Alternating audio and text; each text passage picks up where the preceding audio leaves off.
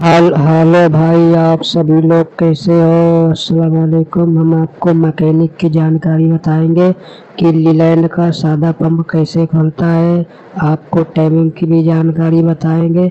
हमारे YouTube channel video में बने रहने में आपका बहुत शुक्रिया।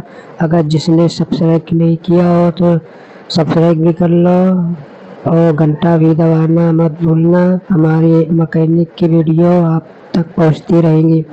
तो हमने ये अभी ऊपर की वीडियो है, ये सब ऊपर पाइपलाइन खुलेंगी। फिर पाइपलाइन खुलने के बाद ये सब खुल जाएँगी। अगर हमारे अभी किसी ने सब्सक्राइब ना किया हो तो सब्सक्राइब कर लो। अब हम ये ऊपर की पाइपलाइन खोल रहे हैं मतलब न्यूजल पाइप न्यूजल पाइप खोल रहे हैं। अभी छः और न्यूजल पाइप खोलेंगे, हम आपको सभी दिखाएँगे इस वीडियो में। टाइमिंग भी दिखाएँगे टाइमिंग कैसी मिलती है उसकी सबकी जानकारी दिखाएँगे। अब नीचे के नीचे के पाइपलाइन है, उनको भी खोल रहे हैं उनको खोलने के बाद फिर हम आपको सब बताएँगे। हमारे यूट्यूब चैनल को सब्सक्राइब करो शेयर करो, घंटा भी दबाओ। हम तीन तीन पाइप खोल गए ये बाहर हो गए। ये तीन पाइप खुल गए, सब खुल गए हमारे, ये पाइप बाहर कर दिए हमने। अब हम खोलेंगे पंप के बोल्ट, पाँच बोल्ट रखे दो रहते हैं आगे और दो मतलब लंबे बोल्ट रहते हैं और तीन छोटे बोल्ट रहते हैं, वो पीछे लगते हैं पंप में।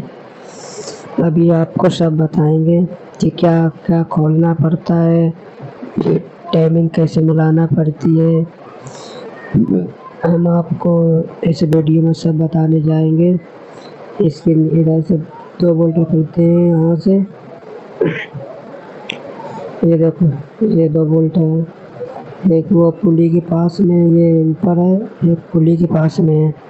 वो टाइमिंग पुली रहती है ना? वहाँ एक बोल्ट। हम आपको भी सभी जानकारी बताएँगे। अब हम बोल्टो खोलेंगे आगे देखो हमने ये दो दो बोल्ट आगे खोल दिए हैं। दो बोल्ट खोल गए हमारे आगे के।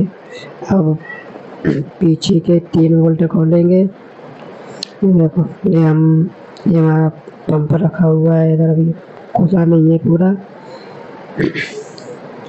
और टाइमिंग भी आपको सब बताएँगे कि टाइमिंग कैसे मिलाते हैं, वो भी बताएँगे। अब हम नीचे आ गए हैं, नीचे से आयल पाइप खोलेंगे। और ये पंप जिसमें कसा रहता है, ठिया पंप का मतलब ठिया, वो ठिया भी खोलेंगे, ये डीजल पाइप भी खोलेंगे। हम आपको अभी सब बताएँगे कि इसमें क्या क्या खोलना पड़ता है। ये हमारा नीचे से पाइप खुल गया है।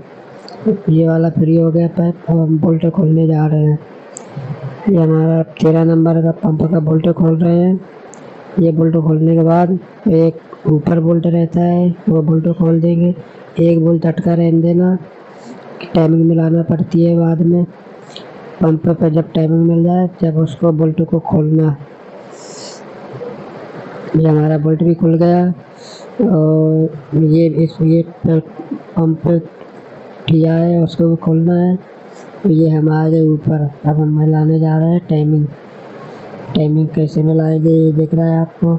ये मतलब नी बिल्कुल ही नीचे होना चाहिए तो हम पीछे से यहाँ से गेट से मिलाएँगे। किसी गाड़ी में द, दस पच्चीस आता है किसी में ग्यारह पच्चीस ऐसे आते हैं और इसमें छः एक है। इसमें छः एक है। तो हम एक का मिलाएँगे छः में नहीं मिलाया जाता। छः में मिलाने से क्या गाड़ी धुआँ देने लगती है। मिस वो होने लगता है। ये हमने एक में मिलाया है इसको। तो उधर देखने, ये देखो पूरा। ये नीचे है। अब यहाँ हम पंप निकाल देंगे।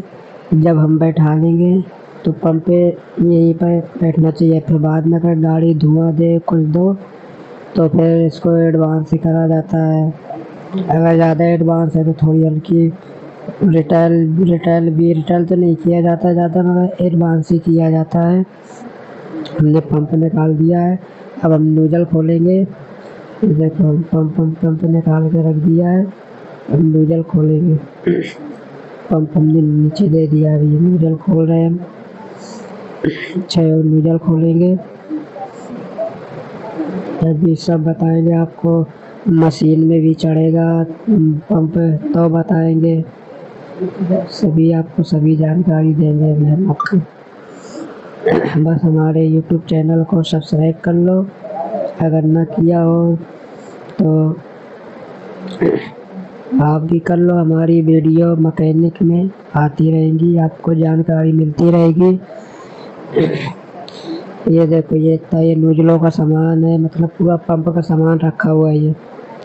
पूरा पंप का सामान है मतलब इतना सामान मतलब लगता है, खोलना पड़ता है। ये पंप रखा हुआ है, नीचे पंप खोल दिया है हमने। ये नूजल रखी हुई है इसमें।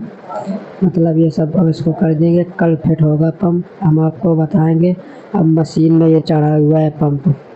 मतलब बन गया है, मशीन में चढ़ा हुआ है।